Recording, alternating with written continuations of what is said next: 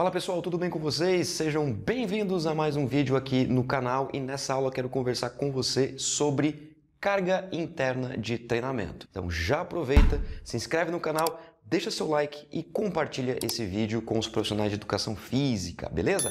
Vamos lá, o que é carga interna, para que, que serve e como que a gente chega, por exemplo, nesse gráfico aqui e interpretar as variáveis do controle de carga interna, beleza? Então olha só, primeiro lugar, nós temos dois tipos de carga de treino. Carga externa, que é o produto. O que é produto? É uma palavra bonitinha da matemática que significa multiplicação. É o produto, é a multiplicação entre séries, repetições e também o peso do exercício. Eu vou deixar um card para você aqui que direciona para um vídeo sobre volume total de treinamento. Dá um confere lá que está bem legal, onde eu falo somente sobre a carga externa. Tudo bem? Já a carga interna nada mais é do que a percepção do aluno frente à prescrição do treinamento. É uma resposta individualizada. Para isso, nós utilizamos alguns parâmetros. Uma das formas é o controle de carga interna pela percepção subjetiva de esforço da sessão, o método PSES. Eu vou explicar para você nesse vídeo o que, que é. Então fica até o final, beleza? Olha só, o controle de carga interna ele é feito por meio de duas variáveis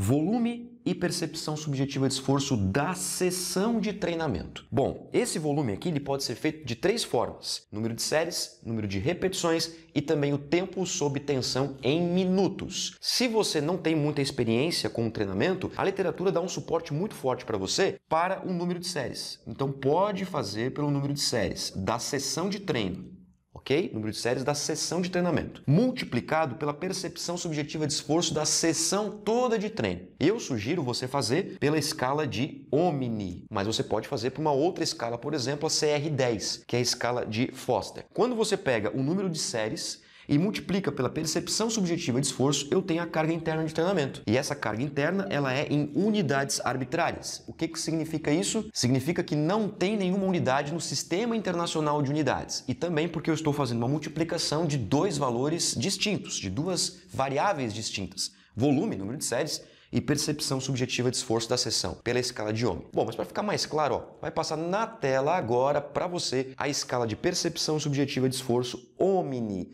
que é o que eu sugiro para você. Olha só, essa escala que você está vendo na tela agora, ela vai de zero, extremamente fácil, até 10, extremamente difícil. E temos também algumas palavrinhas ou frases na escala. Por isso que quando você perguntar para o seu aluno a percepção subjetiva de esforço, é importante que primeiro seja a palavra ou a frase, depois o número. Mas quando que você vai fazer isso? 10 a 30 minutos depois da sessão de treino. Por que não antes de 10? Porque se você perguntar antes de 10 minutos, a tendência é que o aluno responda com base no último esforço realizado. Isso pode prejudicar a percepção total da sessão.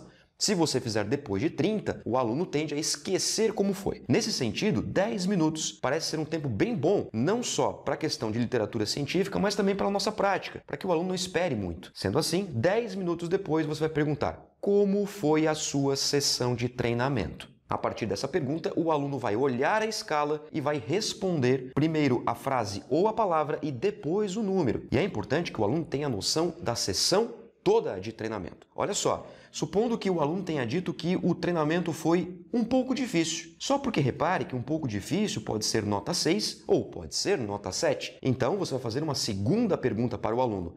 Um pouco difícil quanto? 6 ou 7? E o aluno vai dizer para você: Olha, professor, professora, foi um pouco difícil 7. Fechou. Aí sim a percepção subjetiva do aluno, neste exemplo que eu estou te dando agora aqui na tela, é escala 7. Então volta aqui comigo aqui, ó. Volta aqui. Supondo então que tenha sido escala 7 e que a sessão de treinamento que o aluno realizou foram 20 séries. Obviamente, 20 vezes 7 vai dar 140 o quê? 140 unidades arbitrárias. Simplesmente 140. E você registra. É claro que existe toda uma métrica na semana de treino para a gente poder fazer os cálculos da carga de trabalho. Olha só que interessante. Suponha que você prescreveu uma semana de treinamento que vai até sábado. Tudo bem? Domingo tá fora aqui, ó. Domingo tá fora. Descartei domingo. Olha só. Segunda-feira 15 séries, terça-feira 15 séries, quarta-feira 15, quinta 15, sexta 15 sábado 15. Ou seja, você planejou, periodizou 15 séries para todos os dias, tá? Só para você entender bem como é que funciona isso. 15 séries. Beleza. Na segunda, o aluno disse para você que o treino foi difícil 8.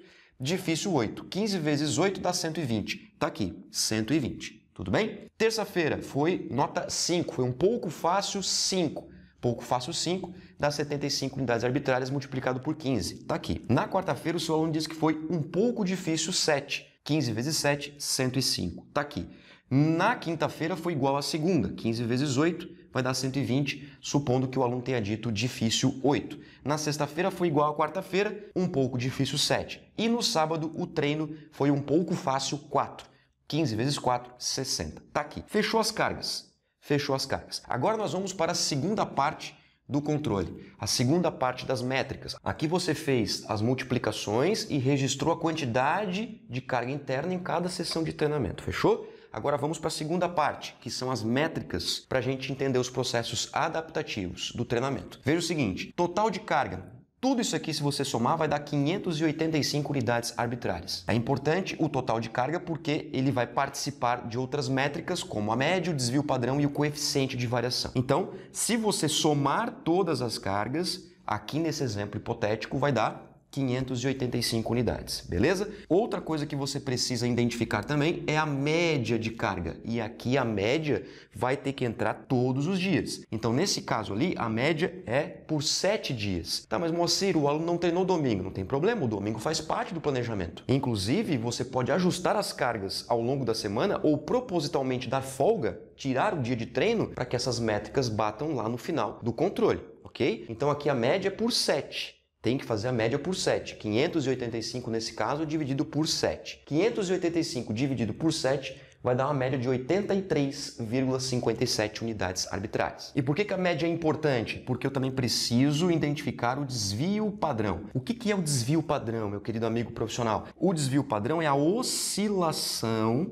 de carga ao longo da semana. Dá de fazer no braço o desvio padrão? Dá, mas é muito trabalhoso. Eu até explico isso num vídeo aqui de estatística, que eu tenho uma playlist de bioestatística no meu canal. Mas é claro que você vai utilizar um Excel, por exemplo, né? já um, algo pronto para você identificar essa métrica aqui, ok? Essa variável desvio padrão. O desvio padrão reflete a oscilação ok? Reflete o quanto que as cargas se modificaram ao longo da semana. Quanto maior o desvio padrão, reflete que as cargas oscilaram mais ao longo da semana. Quanto menor o desvio padrão, as cargas elas foram mais homogêneas, foram mais próximas. A literatura sugere que haja oscilações de carga. Por que, que haja oscilação de carga? Porque nós vamos precisar encontrar também a monotonia. O que, que é a monotonia? É uma variável, uma métrica do controle de carga interna. A monotonia reflete o processo adaptativo da semana de treinamento. O que, que nós utilizamos como parâmetro, né, como ponto de corte, digamos assim? O valor de 2, duas unidades arbitrárias. Então, nós esperamos, como profissionais, que a monotonia ela seja até duas unidades arbitrárias. Isso não significa que eventualmente não vai dar mais do que dois. Pode acontecer que dê mais do que dois. Tudo bem, fique tranquilo, porque você tem os períodos regenerativos e assim por diante. Mas como que é encontrada a monotonia? A monotonia nada mais é do que uma divisão entre a média pelo desvio padrão. Quando você pega 83,57, este valor aqui, e divide por este valor, eu tenho então a monotonia, que nesse exemplo aqui, 83,57 dividido por 43,18 vai dar aproximadamente 1,94. Olha só que bacana. Então, a semana de treinamento gerou uma monotonia alta, inclusive quase em 2. Né? Então, essa semana, apesar da monotonia ter ficado abaixo de 2, mas é um alerta para profissional de educação física. Ó.